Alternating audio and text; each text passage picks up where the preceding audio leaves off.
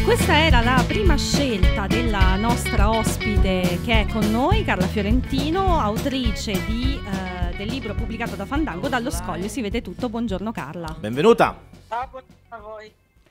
Stiamo E- combattendo con le linee telefoniche, quindi ci scusiamo per la qualità dell'audio, però eh, appunto siamo riusciti a raggiungere anche il- Carla Fiorentino sullo scoglio più lontano dal mondo. Non so se adesso sia sullo scoglio, non credo. Glielo auguro.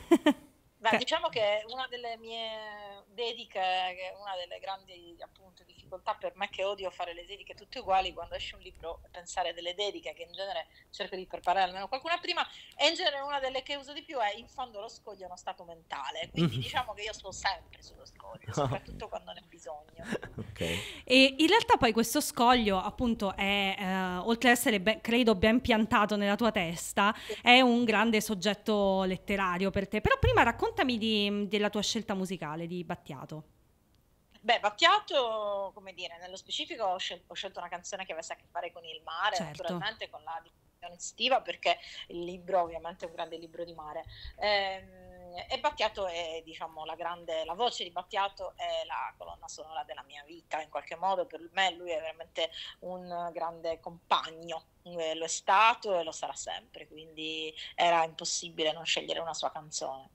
In effetti devo dire che mh, quando leggo le, le tue storie ambientate a Carloforte, perché no- no, questa non è la prima, è ormai diventata una specie di, di saga, ehm, Sì. mi immagino, cerco sempre di immaginarmi una colonna sonora, in realtà mi viene in mente solo il vento, perché ogni volta penso a questo vento, questo mare, non, ri- non riesco a infilarci la musica, però invece magari mh, tu un po' la pensi anche musicata, oppure no?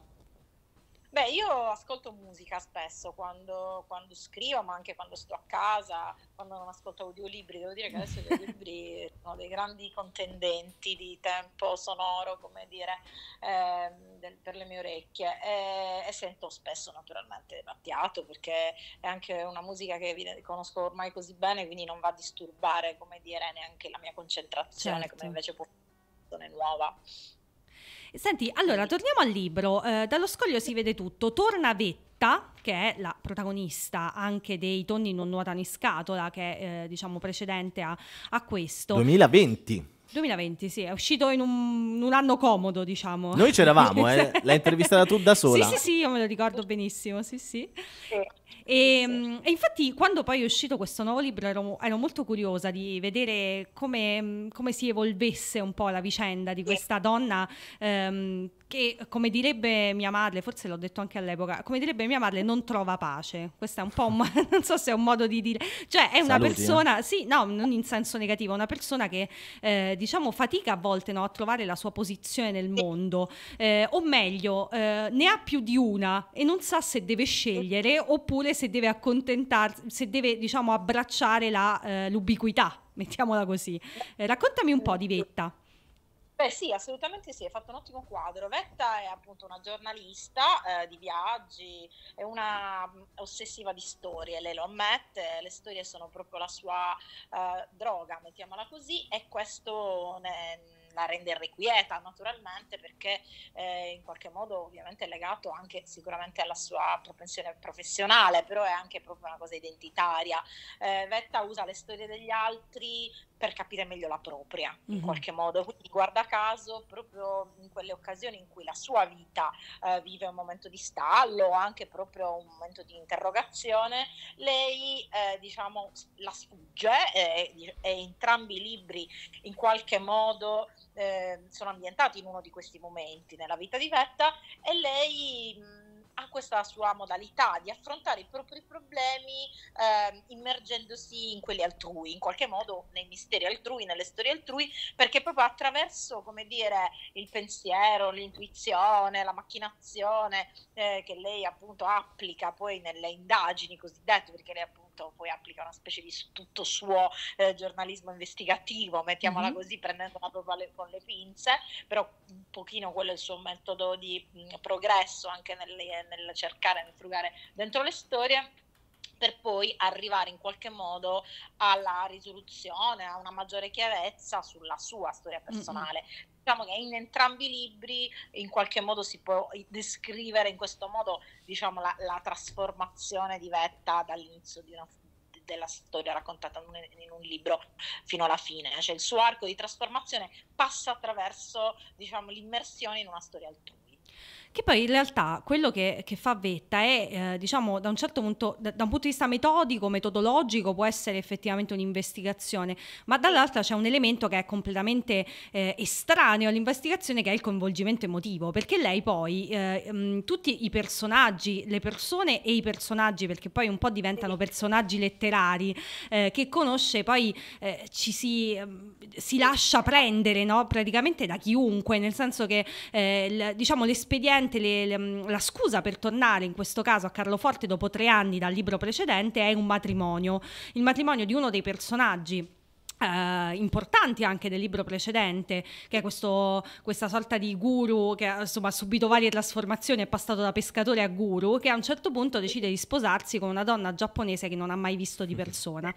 E, e quindi e, e invita uh, Vetta al matrimonio in quanto persona che ha lasciato un segno nella sua vita. E quindi lei torna ben felice di avere una scusa per tornare a Carloforte e uh, in più si porta appresso il suo compagno Federico che aveva toccato toccato tangenzialmente la storia nel libro precedente, era un po' il suo riferimento a casa e, e invece in, in, questa, in, questo momento decide di portarselo e anche diciamo sperando di convincerlo, di farlo innamorare no, del suo posto, della sua isola. E, come è andata? Come hai pensato la costruzione di tutti questi personaggi che abitano Carloforte? Perché è una sorta di, boh, una specie di presepe, non so, ognuno ha il suo, il suo ruolo molto determinato. Beh, allora, diciamo che quando ho scritto i tonni non nota in scatola, che è il momento in cui questi personaggi sì. mh, sono in realtà io avevo pensato fondamentalmente di, di, raccontare l'isola attraverso quello che era diciamo, l'episodio verticale di quel libro, che era una specie di, di mistero reale che io poi ho trasfigurato, che a me aveva sempre affascinato.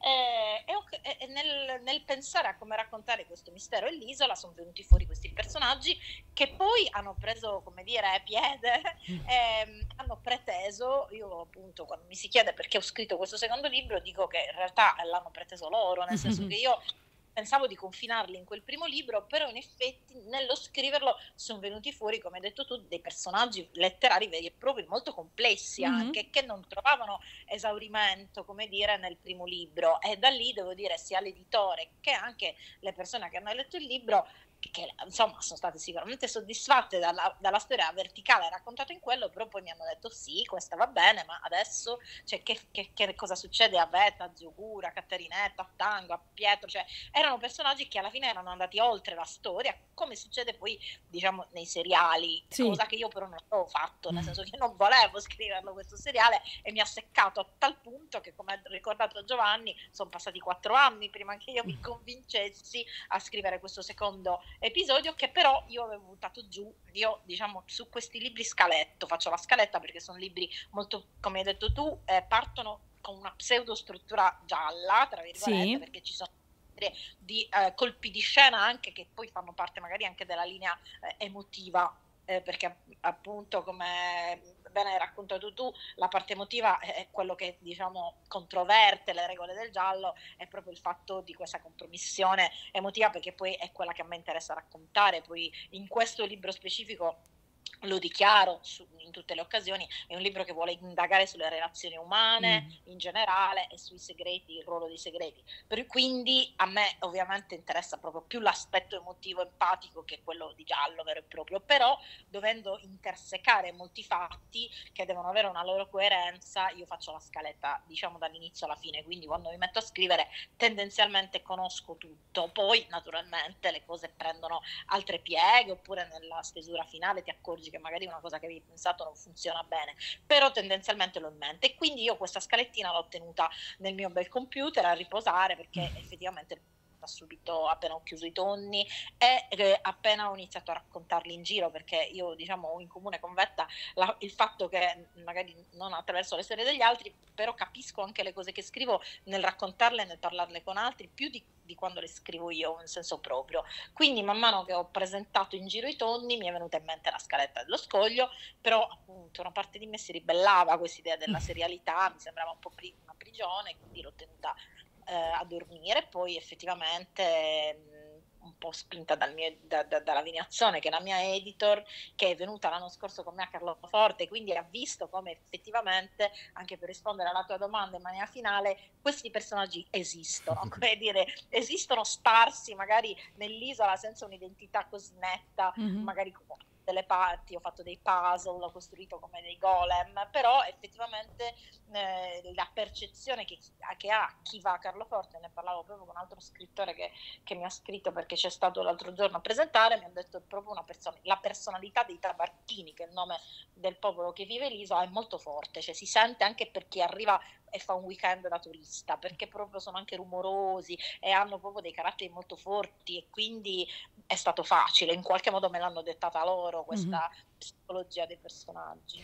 Ma devo dire che eh, mentre parlavi riflettevo su un tema, eh, tu hai parlato, hai, hai, detto che uno dei riferimenti è in effetti il, il, tema delle relazioni e io credo che sia anche molto il tema della libertà, eh, della libertà anche all'interno diciamo di un rapporto, ma anche proprio della mh, percezione eh, della propria libertà, eh, che secondo me è un argomento abbastanza interessante da trattare eh, collegandolo ad un'isola, perché da una parte l'isola è una cosa che uno si aspetta, vabbè sono libero di fare cose che magari sulla terra terraferma non si possono fare e dall'altra però è un'isola, nel senso che poi te ne devi andare da lì solo quando c'è la nave che ti porta via, insomma, no? Quindi è interessante questo concetto di prigionia e libertà che poi ovviamente Vetta trasporta e non solo lei all'interno delle relazioni, cioè quanto tengo a una persona rispetto al, a quanto tengo al mio essere libera certo. di, eh, diciamo, formarmi, no? come, come persona, come donna.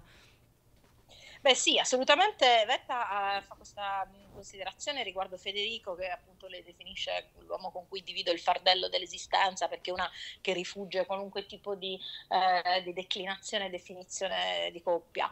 Eh, e lei dice una cosa ti, mm, appunto riflettendo anche su quanto si conosce l'altro e quindi il discorso è prettamente un discorso poi anche di libertà, di quanto si lascia l'altro libero di essere se stesso mm. malgrado il nostro sguardo e malgrado la nostra conoscenza e anche in tutti quegli spazi in cui noi non siamo con l'altro, quindi non lo vediamo. Lei dice una cosa, mm, racconta un aneddoto, dice a me non mi stupirebbe, non mi stupirei particolarmente se domani venisse un uomo vestito di nero tipo uno 007 e mi dicesse che, che Federico è un agente segreto che ha sempre lavorato in incognito facendomi credere tutt'altro, perché appunto lei percepisce, è consapevole che... Ehm, il suo, l'uomo con cui divide il fardello dell'esistenza tiene per sé tante cose se, della propria vita. Ecco, diciamo che in qualche modo ognuno di noi lo dovrebbe sempre, secondo me, tenere presente dell'altro che è accanto. Questa forse era anche una delle mie de, de, de, delle consapevolezze, dei pilastri dai quali sono partita per raccontare queste, questa mia storia.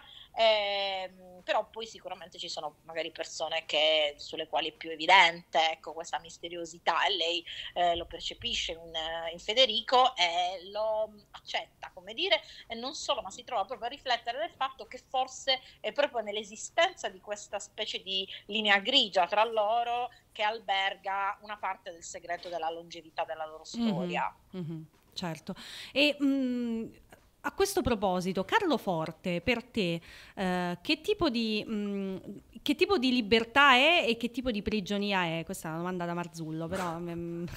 No, è una, è una, bella domanda perché ad esempio mi sono ritrovata da poco in un festival a fare una presentazione doppia e, e io ero, presentavo il mio e l'altra autrice, che è un'autrice Einaudi, presentava un, un, libro che si chiama, eh, che si chiama Claudia, lei si chiama Claudia Lanteri ed è una siciliana mm-hmm. ed era interessante perché entrambe raccontavamo un'isola, ma in maniera molto diversa. La mia appunto rappresentava, come tu hai detto, l'altrove per Vetta, quindi un, un punto di evasione, quindi l'apertura, libertà, fuga, e l'altra invece era più chiusa, come uno si immagina magari certe volte le isole, c'è anche un po' prigione. Mm-hmm. E per Vetta naturalmente io dico, essendo mh, che Carloforte non è la sua isola, nel senso lei non vive lì, non è nata lì, mm-hmm. quindi non, non, le, non, le, può attribuire quel ruolo di prigione perché non, non, è il posto dove lei passa il quotidiano. Quindi paradossalmente nel suo caso Vetta certe volte si sente più imprigionata dall'immensità di Roma, dalle sue regole e dalla sua sì, la sua complessità e quindi eh, certe volte andare in un luogo che ti semplifica la vita è una libertà, quindi in qualche modo Carlo Forte per lei è la libertà dalla, dall'immensità romana e dalle sue, dalle sue schiavitù, perché appunto sappiamo che per noi che ci viviamo a Roma che Roma è una città meravigliosa, ma è una matrigna terrificante, quindi eh, in realtà in quel caso Carlo Forte semplifica, semplifica perché è la vita più semplice, perché è una vita marina, per cui, perché lei in più ci va in vacanza, quindi non è che ah, non ha un lavoro, un quotidiano da rispettare, delle regole sociali, non ha la famiglia, cioè quindi da quel punto di vista è un luogo dove lei può proprio svagarsi e basta, pensare, guardare solo il mare e fare delle cose, poi dopodiché lei appunto, come abbiamo detto, in realtà è una psicopatica tra virgolette, quindi deve cercare le storie, si mette a lavorare e forsennatamente si complica terribilmente la vita anche dentro l'isola perché quello è una cosa che lei ha dentro, però anche nel poter fare quello evidentemente trova pure il tempo che magari a Roma non ha di poter sfogare questo suo bisogno di storie, mentre certe volte sappiamo che chi fa una vita una, un quotidiano, il quotidiano romano ti costringe in realtà a delle routine, a, a, delle regole molto fisse che certe volte ti impediscono di essere te stesso in maniera totale, di fare veramente quello che vuoi perché altrimenti vieni travolto. A proposito di questo, Carla, eh, a proposito di routine, di quello che sei costretto a fare e quello che fai, eh, eh la settimana scorsa sul libraio è uscito un articolo a tua firma che si chiama Il potere taumaturgico della lettura alta, a voce alta e mi collego anche ad un'intervista, anzi ad una presentazione che hai fatto con Massimo Carlotto recentemente, trova, eh, dove vi confrontavate proprio sulla, eh, su, appunto, sullo sbalordimento, sul potere di eh, portare uno scrittore forte della sua scrittura, del suo lavoro con l'editor, eccetera, eccetera, davanti a un microfono, leggere la sua stessa opera e trovarsi disarmato. Come, che è successo? Eh beh, allora io appunto ho letto a voce alta, eh, a parte il mio podcast Sporti, che quindi è nato per essere a voce alta, due, i, i, miei due libri appunto di questa, chiamiamola trilogia, che sarà una oh, trilogia. Uh, notizia! infatti no, lo sapevo, è aperto, il finale è aperto. Eh questo punto si sarà una trilogia, anche perché due non è un numero, insomma, a quel punto, una volta che è famoso non c'è 203, è vero, soprattutto in letteratura, quindi sarà una trilogia, quindi chiamiamola la trilogia di Carlo Forte, li ho letti a voce alta. E quando ho letto I Tonni, che in realtà è uscito l'audiolibro un bel po' dopo, quasi un annetto, quindi ho avuto del tempo, cioè nel senso io credevo di conoscere quel libro, di essermene, essermi abituata, l'avevo già presentato, quando mi sono trovata in sala di registrazione eh, a tu per tu con me stessa e con la mia scrittura ho, ho subito un trauma, devo dire, perché io fino a quel momento non avevo letto le mie cose a voce alta, non avevo sentito il suono e, e per chi è diciamo il tipo di autore che sono io, io non, lo dico sempre, non sono un'autrice di cesello, come dire, non torno cento volte sulle parole, eh, non, non, non, ho pazienza, sul, anzi dopo che mi rileggo un paio di volte con gli occhi faccio veramente fatica proprio a notare le cose, a percepirle. La lettura voce alta è diventata invece da quel momento uno strumento necessario per la, la la mia proprio rilettura di me stessa è l'analisi dei miei, dei miei libri e, la correzione, perché effettivamente leggersi a voce alta per fortuna ti, ti, ti, mette da un'altra parte rispetto alla lettura con gli occhi e quindi a me ris, rispetto alla lettura con gli occhi mi ha dato la possibilità di non provare quel senso di nausea, di stanchezza che invece io ho quando mi rileggo nella eh, in silenzio e però nello stesso tempo amplifica il suono delle cose e anche degli errori, delle cacofonie, delle parole che appunto a quel punto mi è venuto in mente sarebbero potute essere diverse. Quindi quando io ho, ho, ho vissuto quella esperienza che appunto è stata meravigliosa ma anche tra- terribile, eh, mi sono detta non, non, farò mai più, uh, mandare, manderò più fuori dal mio computer nessun testo senza averlo letto almeno due o tre volte a voce alta perché per me, almeno sicuramente per come sono fatta io, è l'unico modo per accorgermi di errori, ma anche semplicemente di, del, per calibrare meglio la scelta, ad esempio, delle parole e della loro sonorità, mm-hmm. perché con gli occhi non riesco ad avere fino in fondo questa percezione. E così, e così è effettivamente stato, e adesso che sono entrata per i tonni, per, eh, per lo scoglio, perché in questi quattro anni eh, o tre anni le cose sono molto cambiate, quindi adesso nell'audiolibro si premia la contemporaneità nell'uscita tra il cartaceo mm-hmm. e l'audio, quindi l'editore a me eh, appunto mi ha messo fretta, mi ha detto no, non hai capito, ti devi sbrigare perché devi uscire in contemporanea, quindi devi assolutamente prenotarti i turni di registrazione perché noi non possiamo, mh, mm, se no appunto il, poi il portale non ti mette in primo piano, bla bla bla. e quindi io mi sono precipitato, ho fatto questi tre turni di lettura, devo dire che sono stati proprio un altro, un'altra tipologia tipologia di esperienza rispetto a quello precedente, proprio perché venivo da tante letture a voce alta. E, e quindi non c'è stato quel, quel, momento di riscontro terrificante in cui mi voleva lanciare dalla finestra, anzi ho apprezzato e appunto ho avuto conferma del fatto che quello per me la lettura voce alta è un metodo molto valido. Dopodiché si scoprono sempre delle nefandezze perché c'è sempre poi qualcosa che magari sfugge, perché magari si aggiunge anche all'ultimo, ci sono stati, io sono ritornata su alcune parti un po' velocemente, quindi poi magari qualche ripetizione, io sono molto infastidita quando leggo voce alta delle, del, dalla ripetizione delle parole, quindi magari se usa nella te ne accorgi mentre se leggi con gli occhi se c'è la stessa parola diciamo concettualmente importante in una pagina magari non te ne accorgi soprattutto se distanziata quando leggi a voce alta te ne accorgi anche una ogni 10 50 30 righe dopo ti disturba e quindi la vuoi togliere e quindi ho fatto ho fatto, ecco, diciamo, ho fatto bene il mio hobby, sono data un buon voto. Ecco. Okay. Nella, nella, rilettura dei tonni sono stata contenta e devo dire che sono stata, ho ricevuto anche i complimenti dalla regista perché effettivamente la familiarità che avevo col testo si percepiva, avendolo letto a voce alta tante volte, avevo già un'idea chiara di che intonazione dare alle cose, non, non mi sono praticamente mai fermata perché era diciamo un, un, sentiero molto noto in quel mm. momento. Devo dire che eh, per esperienza personale io ho sempre trovato mm, veramente piacevole, cioè è una cosa che mi è sempre piaciuta tanto leggere ad alta voce, è un po' come cantare, cioè è una cosa che eh, la facevo mm, da, da, ragazzina, mi ricordo da bambina, prendevo quelli, o i libri che stavo leggendo oppure i, le raccolte di, di, di, cose per la scuola, di, sì. di testi diciamo per la scuola, ogni tanto andavo a pescare quelli che non avevamo fatto perché mi piaceva il fatto di non averla mai letta e la leggevo ad alta voce. Un po' da secchiona però. Ma eh. non per un... No, perché mi piaceva proprio l'idea di, di leggere ad alta voce. Non lo so perché, mi dava proprio l'idea quasi artistica. L'hai scoperto da sola. Io invece, diciamo, sono, ho una mia pigrizia. Io sono una, una diversamente pigra, nel senso che poi in realtà io ho una mia pigrizia che mi causa eh, in realtà poi una, una, forte capacità di programmazione, quindi quel, viene scambiata in realtà per iperattivismo. In realtà io faccio tante cose, programmo e agisco in maniera proprio perché sono pigra e quindi odio poi dover fare le cose di fretta, okay. però in realtà è come quando arrivo 30 ore lo capisco, al, lo, lo, capisco perfettamente correre come dire cioè proprio una cosa una mia forma di pigrizia mentale non voglio avere il tempo giusto per fare le cose e quindi la lettura a voce alta in realtà mi scoccia, cioè a me scoccerebbe, non è che lo faccio proprio con piacere, lo faccio però perché ormai ho capito che lo devo fare. Che è giusto, eh. certo, che serve. Grazie eh. mille Carla, Carla Fiorentino, dallo Scoglio si vede tutto, pubblicato da Fandango. Ci e, sentiamo per il eh, terzo. Ci sentiamo, ah, certo, ovviamente ci sentiamo per il terzo, immagino l'estate prossima, perché Beh, questo... No. Eh, sì, o anche quella dopo, insomma, quando volete. Esatto, tra il 26 e il 27 penso, insomma, una cosa così dipende. Va bene, va benissimo. Fandango, che è il mio padrone. certo.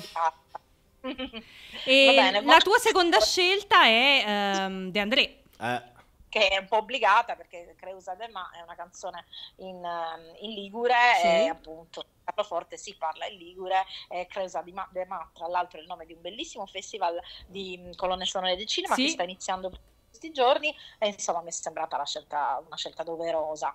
Grazie mille Carla, a presto. A voi e buona, Ciao. Buona